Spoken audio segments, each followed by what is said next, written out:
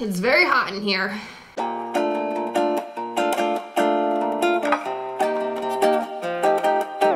Ever since I made my granny square top, I have been desperately wanting some granny square pillows. And since then, I've had my eye out at the thrift store and I found myself a pillow, Keaton. That inside pillow. And these are not all my colors. So I kind of got a color palette. I don't know, is this a cute color palette? Might be too many colors, but I'm just gonna try, might be too many colors, but I'm just gonna work on the first granny square and see if I like it. If I don't like it, I'll keep making them until I like it. And I'm gonna be just doing a basic granny square, this right here. I'm gonna be making these.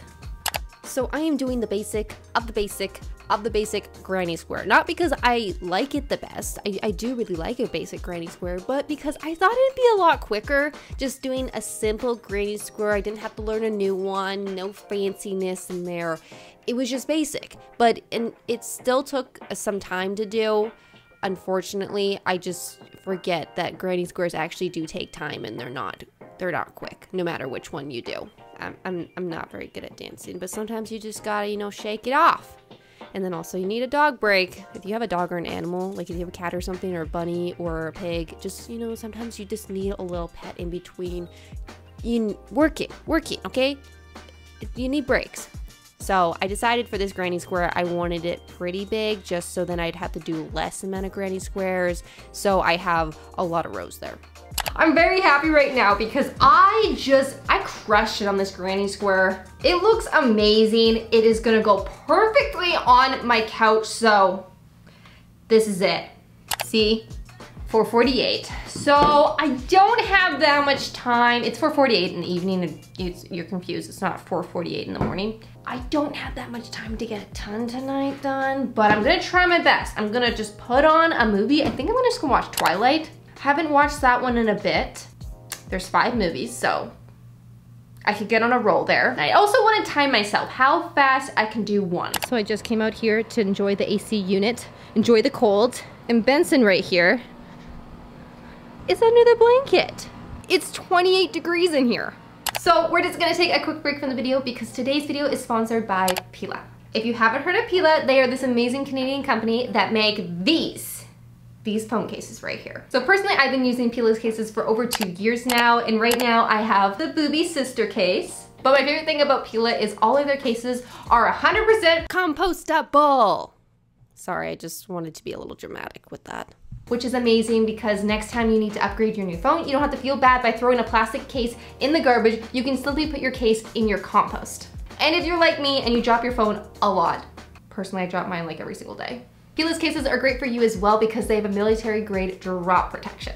Did I tell you guys they're made from plants? Yeah, all of Pela's cases are made from plants. So if you guys wanna try out Pela and get your own biodegradable phone case, I do have a coupon code for you guys. If you guys use the code JENNA at checkout, you'll actually get 40% off your purchase for the first 50 people, and then everyone after that that uses my code will get 20% off. Well, I'm gonna go sit on the couch in front of the AC unit and figure out how long it takes me to make one of these. I'm hoping like 20 minutes. So originally I went out there to go watch Twilight and watch all the movies in one day. But then um, my husband was watching the track and field, the Worlds. Um, so I ended up just watching that all week. So I started the Granny Square at 5.07, 6.02. So definitely not the 20 minutes I was hoping for, but I was getting slightly distracted and I wasn't 100% focused on my granny square. So I'm gonna say 30 to 40 minutes it takes me. Okay, not 30. Probably 40 minutes to do a granny square. Good morning! Morning. So last night, I ended up getting six squares done, which I'm very proud of myself. I was up till 10 o'clock doing these squares, but I'm very happy I did because now I have a good start to my day today. I did one this morning, I was watching a movie, just having a great time on the couch, and now I have seven. Seven cakes done. So I have to do 11 more today. Actually, I'm gonna do a little sneak peek for you guys. I am just going to lay them on top of my pillow here and see how it looks. It's beautiful! So I put my movie back on this morning. I started working on my crochet again. I was watching Shutter Island, I'm pretty sure it's called. Great movie, by the way. I just saw a little clip of it on Facebook videos and um, it kind of got me hooked. I'd never heard of it until Facebook videos, a, a video on Facebook. And that was really wild, that movie. I was not expecting a lot of things. It was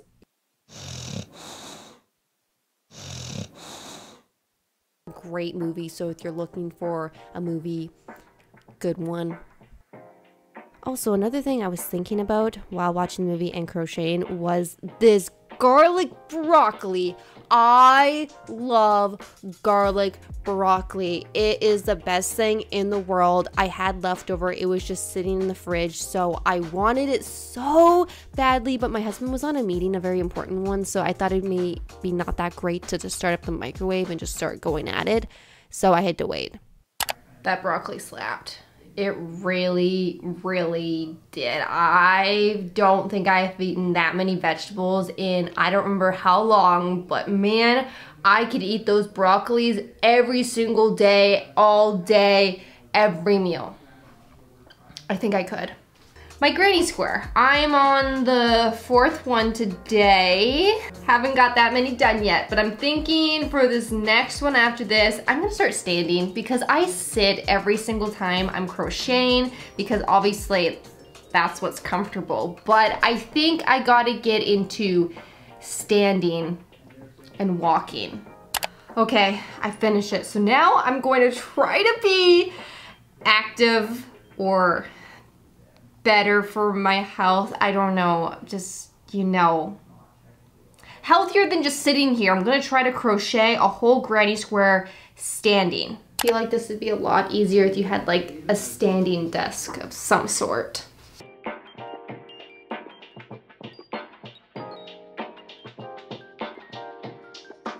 Well, that sucked. It's more fun sitting. I think I'll keep to sitting and crocheting. I have 13 squares done. 13, all done. And it's 4.15ish now, so I still got a good amount of the day left to finish the other five squares. But on the weekend, I went to a wedding and on the way home, a rock popped my tire. So I have to go get it now. And it's like 30 minutes away from my house. So it's going to take a little bit of time before I get back. So just a little background on this, my car does not come with a spare tire, so if it pops a tire, you have to get a tow truck, put it on the back of the bed, and then take it to the place to get a new tire, and it took like a week, but that's why it was on a tow truck. okay, I woke up this morning, like 13 minutes ago. I realized I am making something that's gonna sit in my house while it's beautiful out. It's beautiful out. It's summertime. It's crochet season. Why the heck am I making something that's gonna sit on my couch? I can make that anytime, but I can't enjoy summer clothes anytime. So I decided as of like 13 minutes ago when I woke up, I'm gonna turn these granny squares into a skirt. Anyways, last night I didn't get them all done. I am working on three more this morning. I've got a little bit done, so I'm gonna try, I'm gonna try my best to be focused here and get three done extremely fast so then we can finish off this skirt and then maybe, oh, I'm gonna wear it tonight. I'm gonna go out for dinner and I'm gonna wear it. That's my new goal in life. So I'm going to sit right here and not move until I have all three done. I am so proud of myself right now. I sat in this chair this whole time. I didn't get up once and I finished my three granny squares in an hour and a half. That means it was 30 minutes each granny square. Next step, I'm gonna put it into a tube. So before we start, I'm just gonna triple check to make sure that three by three is gonna work.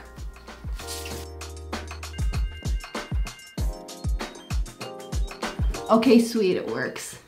So every time I do a granny square project, I attach them the exact same way. So if you've watched multiple of my videos where I've done granny square projects, you've definitely seen me do this technique where I just go loop here, loop there, loop here, loop there, and I just do it for the whole thing to attach all the granny squares. Yes, it's not the most exciting thing in the world, but I think it looks pretty good. I don't know, some people do like a single crochet to attach granny squares together, but I just kind of like this method. It's it's the same thing as sewing or not sewing. Yeah, sewing. I meant knitting. It's the same thing as knitting. Okay guys, need to see this. It's not even done yet, but I just have to show you guys how the skirt's looking.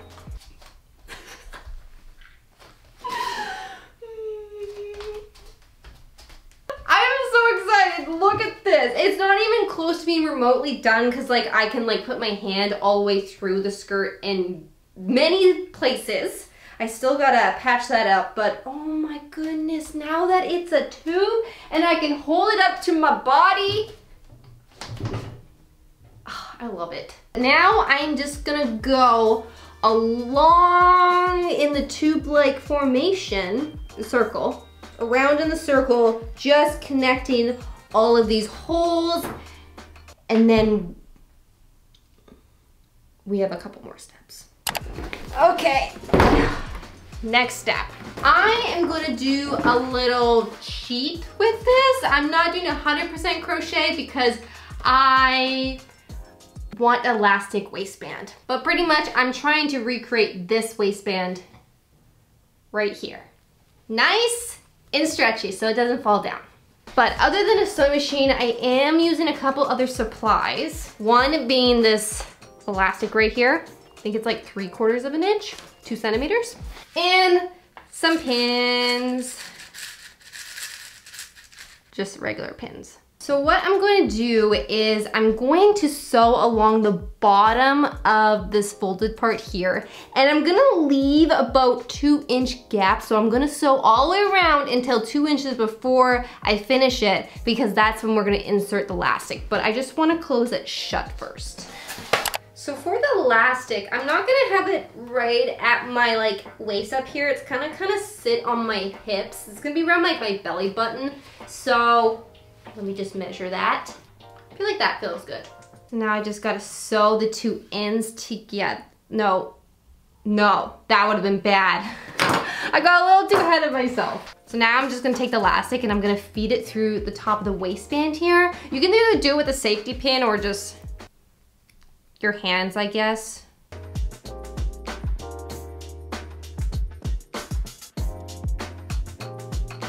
So now that I have both of them hanging out of the one end, you just wanna go ahead and make sure it's not twisted because the first time I ever did this in grade eight, I specifically remember this. I had the band twisted. And then sewed it and then realized after it was twisted. So then I had to cut it and then sew it again. And then the last one was too small. So it's, it's a pain. Just make sure it's not twisted before you go ahead and sew these two pieces together.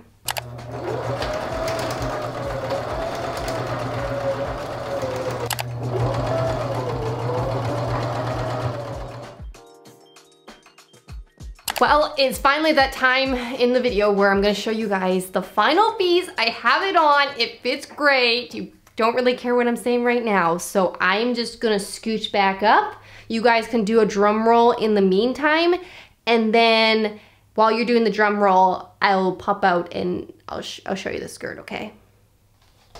Ta-da!